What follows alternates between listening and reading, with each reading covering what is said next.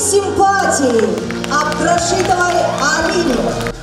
Сердца зрителей принадлежат Алине Абдрашитовой. Восьмилетняя девочка одержала победу в интернет-голосовании конкурса «Маленькая красавица Алтая».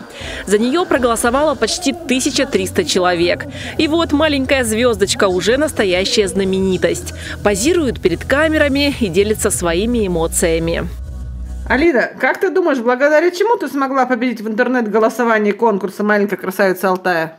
Ну, потому что я очень красивая девочка, вежливая и добрая. Могу найти со всем общение.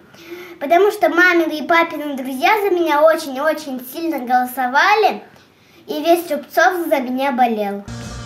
Дефиле, позирование, визитки, творческие номера. 24 конкурсантки со всего Алтайского края на школьных весенних каникулах не отдыхали, а готовились к важному событию в своей жизни – финалу конкурса «Маленькая красавица Алтая». Что ты чувствовала, когда выступала? Я чувствовала, что как будто бы во мне плюет огонь, и э, я покорила, мне кажется, сердце жюри.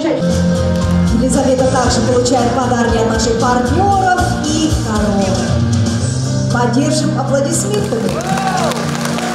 Ни одна из конкурсанток не ушла без награды. Юным красоткам вручили подарки, грамоты, сертификаты. В этом году конкурс «Маленькая красавица Алтая» проходит уже 21 раз.